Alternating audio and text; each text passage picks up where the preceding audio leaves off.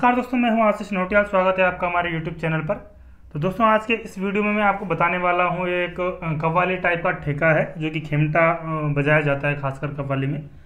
तो ये मैं पहले भी शायद आप लोगों को बता चुका हूँ, लेकिन आप लोगों के काफ़ी सारे कमेंट्स अक्सर आते हैं, कि कुछ नया सीखने के लिए या कुछ, कोई नया ठेका सीखने के लिए।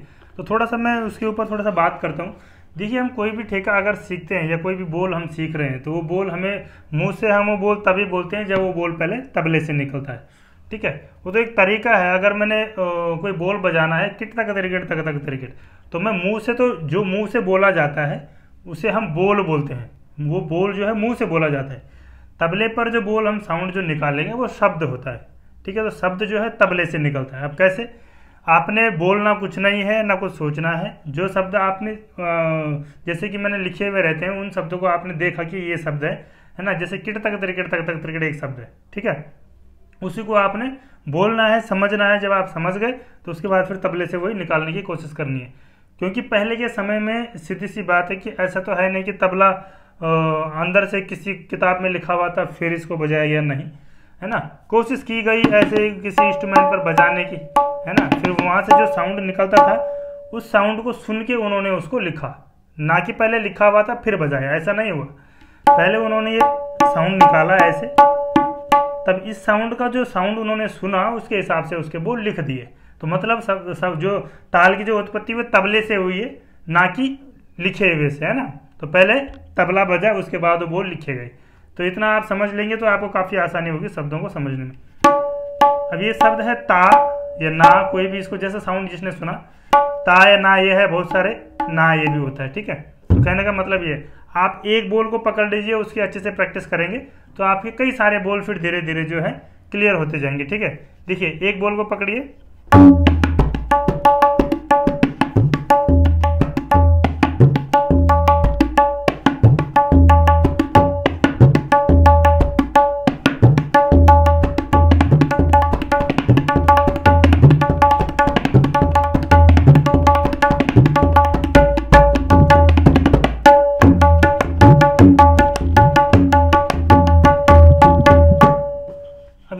आप इस तरीके से बजाते हैं तो सबसे पहले मैं थोड़ा ठेका बता देता हूँ आपको। खासकर कव्वाली में या गानों में, भजनों में आप इसको यूज़ कर सकते हैं।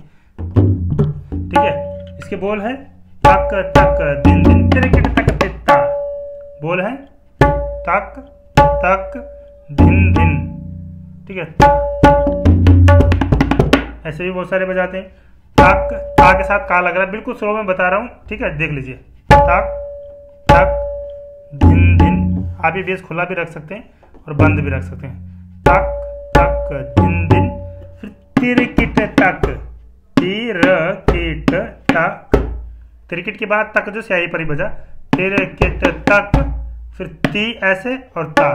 तिरकिट तक तिता ता के साथ फिर का भी लगा सकते हैं। ठीक है? तक तक दिन दिन। तिरकिट तक तिता ऐसे। तक तक दिन दिन। तिरकिट तक तिता उसके बाद ठेका। धिता ता तिद्ध ता ता तिद्ध ता ता तिद्ध ता ती के साथ जो है हल्का सा गा भी टच होगा धी ता ता ती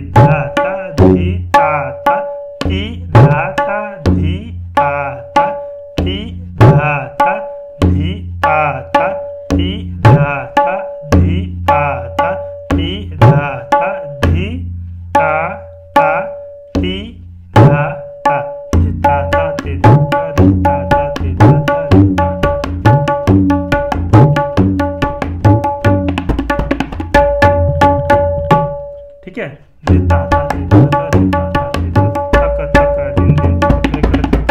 ये भी बजा सकते हैं अच्छा ठेका हमारा हो गया ठीक है इसके बाद एक छोटा सा मैं बजा रहा था लग्गी टाइप का या रेला आप बोल सकते हैं इसी ठेके के बीच में उसको कैसे बजाना है सबसे पहले लय को आप लोग समझ लें ठीक है लय मैं इसलिए बार बार नहीं बताता हूँ देखिए लय अपने अंदर होनी चाहिए बाहर से सीखने की आवश्यकता नहीं है अगर आप पूछते रहे कि लयकारी नहीं आ रही है क्यों नहीं आ रही है तो वो आप अपने अंदर से पूछिए कि लयकारी क्यों नहीं आ रही है आप पहले गाने सुनिए, अगर आपकी लय नहीं बन रही तो आपको फ़िलहाल गाना, तबला जो है, वो नहीं बजाना चाहिए। मेरे हिसाब से उसको छोड़ देना चाहिए कुछ समय के लिए, और आप गाने सुने गाने के साथ केवल ताली बजाने की कोशिश करें, उसको समझने की कोशिश करें, क्योंकि लयकारी सिखाई नहीं जाती है, वो स्वतः अपने अंदर आपके होने चाहिए।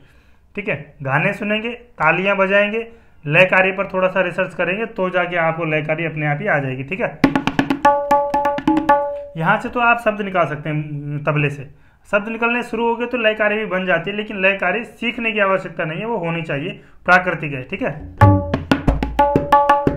थोड़ा सा एग्ज़ाम्पल के लिए आप देख सकते हैं, जैसे घड़ी एक स्पीड में चल रही है, ठीक है? उसी तरीके से आपने अपने लय कार्य को बनाना है, ठीक है?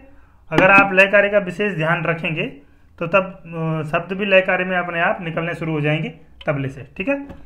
इसके साथ जो मैं एक रेला बजा रहा था, उसके बोले, था तिटे गिड़े तिटे गिड़े ता तिटे गिड़े ता किट तिटे गिड़े नग ता किट बोले धा टिट घेड़ नग ता किट ता टिट घेड़ नग ता किट दोबारा से देखेंगे धा टिट घेड़ नग ता ता किट ता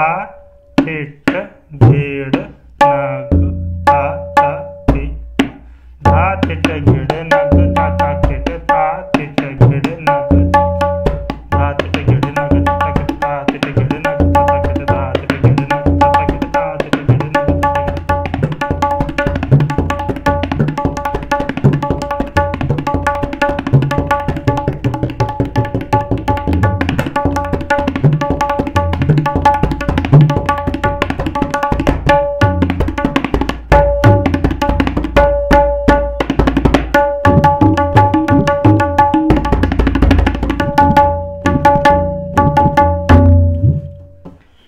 इस तरीके से आप बजा सकते हैं। उम्मीद है आपको ये वीडियो अच्छा लगा होगा। अगर आप ऑनलाइन क्लासेस लेना चाहते हैं तो साइड में आपने नंबर देखा है, आप कॉल कर सकते हैं या मैसेज कर सकते हैं व्हाट्सएप पर ऑनलाइन क्लासेस के लिए।